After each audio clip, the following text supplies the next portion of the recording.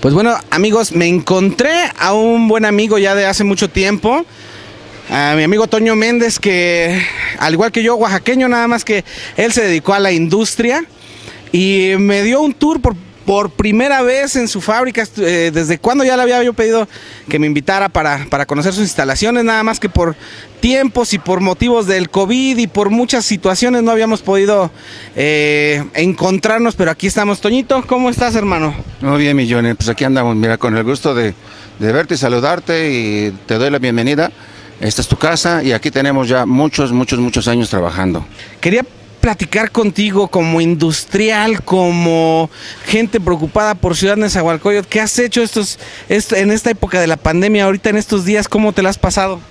Um, honestamente, no tan bien. Creo que la pandemia le ha pegado a toda la industria, a todos los empresarios.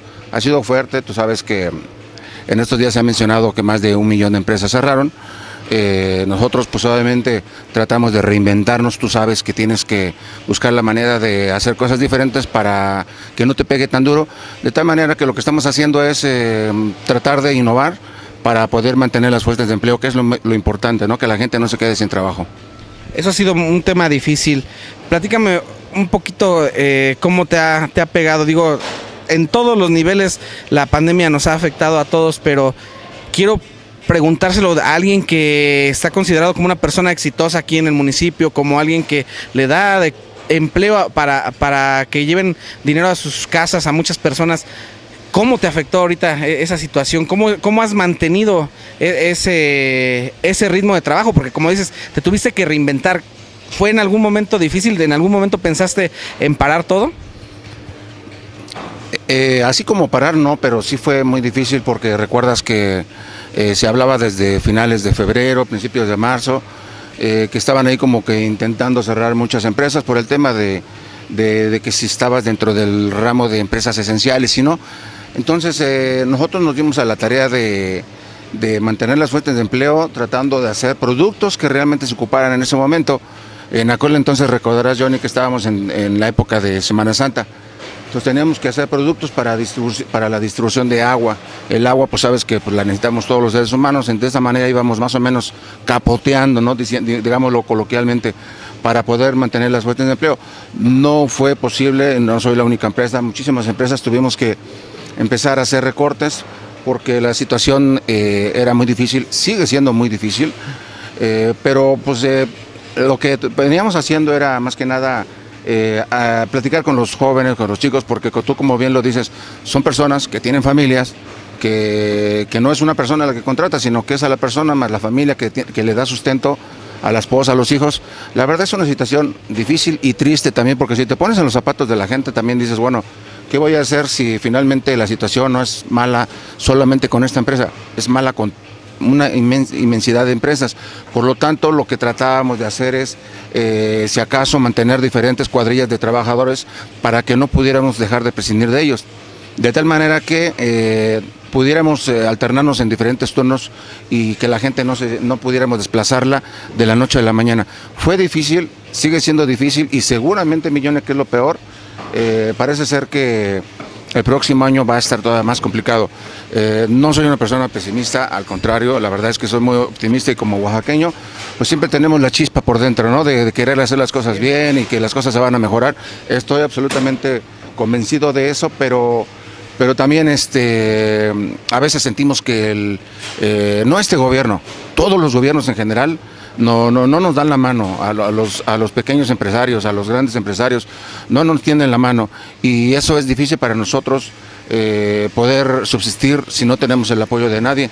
De tal manera que pues bueno, lo único que nos, nos queda es este eh, seguir echándonos para adelante, eh, no bajar la guardia, tratar de seguir haciendo las cosas mejor para que nuestro producto se siga vendiendo y nosotros eh, apoyar a las, a, las, a, los, a las personas que trabajan con nosotros, que son pues, colaboradores que ya llevan muchos años con nosotros, de tal manera que pues lo único que buscamos es mantener las fuentes de empleo, que es lo primordial. ¿Estás con algún grupo de empresarios eh, eh, vinculado para ayudar a este tipo de situaciones? Eh, ¿Se han preocupado aquí en, Ciudad Neza más empresarios como tú en mantener las fuentes de empleo o estás solo en esta lucha? No, afortunadamente eh, tu servidor eh, tiene la, la, oportunidad y la fortuna, ¿por qué no también decirlo?, de pertenecer a, a consejos y cámaras empresariales. Eh, esto me ha ayudado porque pues, me ha compartido honestamente la visión en esas reuniones grupales con empresarios y con industriales. Pues intercambiamos información de cómo está la situación actual eh, de manera municipal, estatal y nacional. De tal manera que pertenecer a una cámara como Canacintra y a un eh, consejo empresarial como el consejo, el consejo Coordinador Empresarial del Estado de México, pues me permite tener una visión más, más clara y más precisa de cómo está la situación en, el país, de tal manera que eh, lo que vemos nosotros aquí concretamente es que sí se requiere mucho apoyo eh, para los para las MIPIMES sobre todo, porque a lo mejor habrá un sector un sector de la industria o empresarial donde a lo mejor no requieren eh, necesariamente un, un, apoyo económico, sino, sino más bien las facilidades para continuar trabajo, trabajando. pero este, hay em, eh, microempresarios que como te lo decía hace rato, ya, ya desafortunadamente ya cerraron. Muchos de, esos microempresarios eh, lamentablemente ya no van a poder abrir. Es, triste comentártelo, pero muchos de ellos ya no van a poder abrir porque no lograron subsistir. Y lo terrible de esto, Milloni, es que, eh, te lo decía hace rato, esto va para largo. Y, y son esos microempresarios que son a los que nosotros, que a lo mejor no nos ven, porque no nos conocen, pero ellos deben de tener la certidumbre de que hay un, unas cámaras empresariales que están eh, dando la batalla, eh, coadyuvando con el gobierno municipal, estatal y federal para darle las facilidades a los microempresarios de tal manera que no sea una carga para ellos una pandemia una situación tan crítica como la que estamos padeciendo y que ellos de alguna manera sepan que tarde o temprano vamos a lograr traer un apoyo para ellos para medianamente ir subsistiendo. Ya estás hablando de gobiernos municipales, estatales y federales. Por parte del gobierno municipal, vámonos por, por cada uno el gobierno municipal ha ayudado, el gobierno estatal ha ayudado, el gobierno federal ha ayudado de alguna manera a los empresarios, a los que, como tú mencionas, a los pequeños, a los que no son tan vistos. ¿Ya los voltearon a ver o está nula la respuesta o está ahí más o menos? te comento que nos voltearon a ver de reojo. O sea, sí, sí, sí. Quisiéramos una atención mucho más personalizada también sabemos que no es tan, viable, pues porque la situación pandémica ha causado estragos en toda la sociedad, tú sabes que ha habido miles de muertos. Eh, y, no, no, pueden darnos tanta atención a nosotros porque están cuidando más el tema de la salud de las, de las gentes. Pero eh, el día de antier teníamos una cifra de que por cada 20 empresas a una le han dado un apoyo. De cada 20 empresas, solamente a una lograron darle un apoyo si me detengo a decirte qué tipo de apoyo, vamos a salir casi igual en ceros. O sea, te hablo de un apoyo micro que te sirve para 15 días, 8 días o 15 días dependiendo del tamaño de tu negocio. O sea, prácticamente es nula. Vaya, entendemos que la situación económica este, a nivel nacional es complicada, pero no, no ha sido eh, viable. Yo creo que tampoco se vale echarle la culpa a la, pandemia, Milloni. Eh, sabemos Eso es más allá de eso, ¿no? La pandemia es una cosa, pero también se debió haber prevenido un poquito, ¿no? Algo. Exactamente, eso es lo que te voy a decir. No podemos echarle la culpa a la pandemia, seamos realistas. Este problema viene desde hace dos años, es más, desde hace cuatro y desde hace seis. Esto va, como te lo decía hace rato, normalmente el gobierno federal no hizo lo suficiente o no hizo lo que tenía que hacer en su momento para apoyar a los microempresarios, como lo hicieron en otros países eh, europeos. Es más, hasta en países chiquitos eh, sudamericanos hicieron mejor eh, por sus empresarios que nosotros. Es triste, es muy, muy triste escucharlo, pero ¿hay alguna medida que se esté tomando al respecto? Había un tema, yo por ahí vi, o, no sé si estoy equivocado, que estás en un proyecto llamado Sí por México que no alcanzo todavía a, entender qué significa ese movimiento de Sí por México. Porque es un movimiento, no es, no es, no es algo, no es un grupo político, quiero entender. Eh, no, no, no, es, una, es un movimiento bien dicho por ti y no es más que una iniciativa de un sector privado que, que está viendo que la dirección a la que el gobierno actual lleva el país no considera o consideramos que no es lo correcto. Y es interesante porque lejos de ellos o de que estas eh, cámaras empresariales quieran eh, empezar a levantar la mano para tomar decisiones en el país, que es válido, eh, quieren influir en la toma de decisiones. A mí me parece interesante porque, por un lado, podemos decir, echarle la culpa al gobierno, llámese del color que sea, eh, y hacerlos responsables por la mala dirección del país. Pero si tú también como empresario tuviste la oportunidad de estar la mano y decir, oye, yo quiero participar y formar parte de esa toma de decisiones, eh, y nunca lo hiciste, o sea, porque es muy fácil tomar el Twitter y el Facebook y inventarle la madre a quien sea, pero en la realidad que tú hagas, hagas una propuesta de mejora para tu comunidad, para tu sector empresarial que representes y que no tengas esa iniciativa de hacerlo, bueno, también es culpa tuya.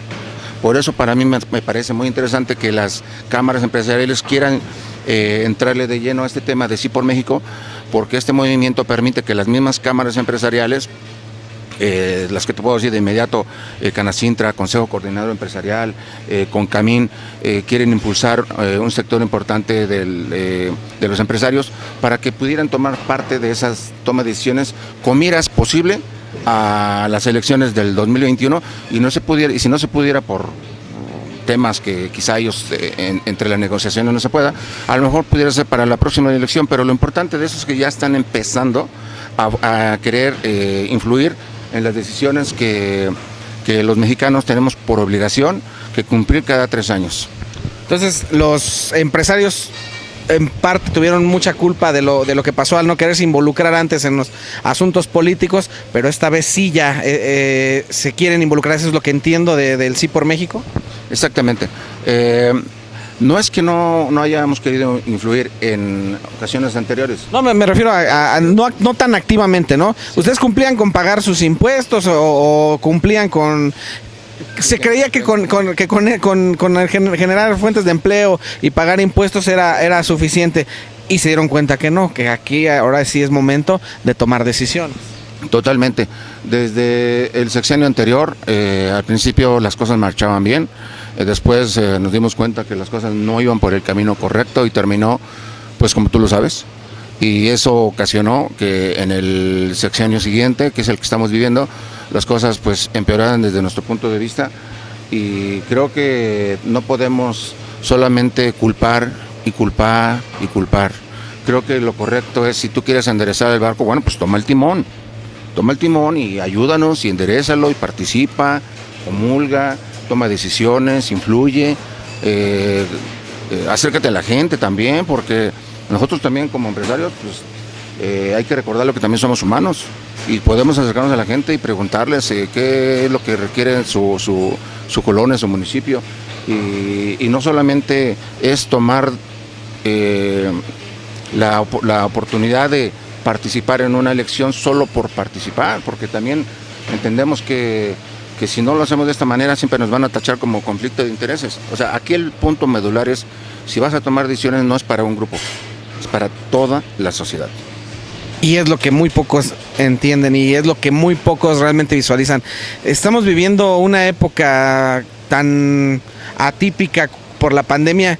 Yo he estado eh, muy recalcitrante en que si, esta, si en estos momentos no nos damos cuenta que debemos de, de, ser un conjunto de todo, si en este momento no hacemos una comunión, los de, los de a pie, los de abajo, todos juntos, va a ser muy difícil que salgamos. Estos son tiempos humanistas, estos son tiempos eh, humanitarios donde tenemos que ayudarnos unos a otros, echarnos la mano, porque si no, solitos no vamos a poder eh, con, toda la carga. No sé qué, qué opinas tú al respecto. Eh, no, absolutamente de acuerdo contigo, Johnny. Este, Creo que este es el momento, bien dicho por ti, en el que debemos de verdad sumarnos. No, no, no hay forma ahorita de, discriminar a algún partido político o algún sector empresarial o algún sector de la sociedad. Tú estás viviendo, todos los que formamos parte inclusive de esta comunidad oaxaqueña, eh, vemos que la situación es complicada. Eh, y cuando digo situación, eh, perdón, comunidad oaxaqueña, me refiero a que pues obviamente somos un grupo numeroso muy importante en Ciudad de pero ya en términos generales, todos los, todos los que formamos parte de este país nos damos cuenta que la situación en este momento, 2021, está muy complicada. pero lo que se viene el próximo año, de acuerdo a la información que nosotros tenemos, es que va a ser peor. Peor en todos los sentidos y de todas las maneras. De tal manera que si el que tiene trabajo lo tiene ahorita, aunque sea no muy remunerado como lo quisiera, consérvalo. Consérvalo porque el próximo año va, la situación va a estar muy complicada. Y ese es precisamente el momento en el que todos tenemos que sumarnos, sin importar el color del partido, sumarnos. Si tú crees que los amarillos son los, los buenos, pues súmate. Si crees que los verdes son los, los buenos, súmate. Si crees que los azules son los buenos, pues intégrate. Y del color que sea, súmate. Porque es el momento de tomar decisiones y apoyarlos. Para que después no te quejes. Ahorita estamos viviendo la borrachera y viene la cruda viene lo peor de la pandemia, viene realmente los estragos económicos, viene todo, todo lo que va a dejar detrás de sí y es momento de, ponernos las pilas, es momento de, como lo dice Toño, todos unidos, no importa el color, es involucrarse con propuestas, con trabajo en calle, como sea, pero el chiste es involucrarse porque si no, estamos fritos, ¿no, Toñito? Toma, eh, tienes eh, solamente dos opciones o coloquialmente, como dicen por ahí, dos sopas, ¿no? Beberla o derramarla. Sí. ¿Qué es lo que quieres? Pero que no pienses en ti, Johnny, porque si no, somos mezquinos. Piensa, piensa eh, que lo que tú decidas va a influir mucho en tu familia. Piensa que lo que tú hagas o no hagas va a influir en tu comunidad. Piensa que lo que tú hagas o dejes de hacer o posiblemente le va a afectar al corto, al mediano, a largo plazo a, ti mismo y a tu familia y a la comunidad en general. Entonces, si, si tomas una decisión inteligente y finalmente te das cuenta, porque de eso se trata también esta entrevista, un poquito hacer conciencia con la gente, ¿no? De que quejarnos es muy fácil, pero actuar es lo complicado. Yo, lo dijiste muy, muy bien dicho hace unos momentos. Eh, próximamente va a haber elecciones. Eh, vota, vota porque el que tú creas que tiene las mejores herramientas para mejorar tu comunidad, pero vota. Eh, no, te, no, te involucres tanto en el tema de los colores. Eh, en esta ocasión eh, es una elección también de muchas circunstancias.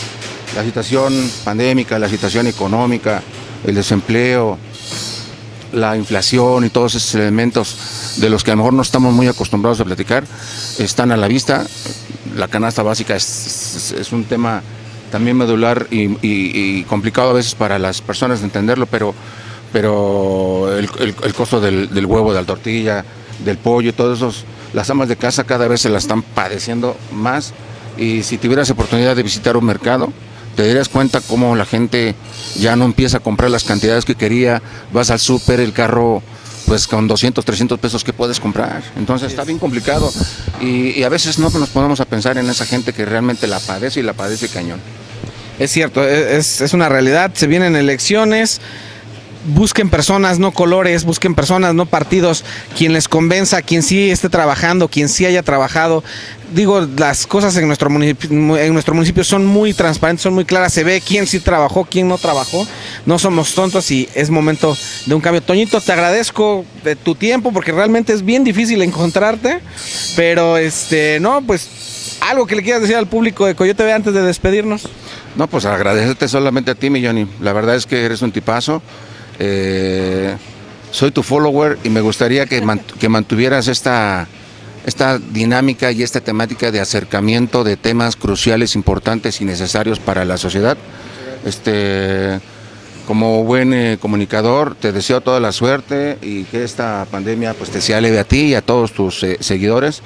Eh, pues eh, yo me, reitero a la orden, Antonio Méndez, soy su amigo, eh, en lo que yo pueda ayudar saben que siempre van a poder contar conmigo. Y muchísimas gracias. Muchas gracias Toñito. Y bueno, estamos aquí en Coyote TV, no le cambien los que nos están viendo por cable y los que estén en internet pues síganos, den el like y compartan, muchísimas gracias, nos vemos.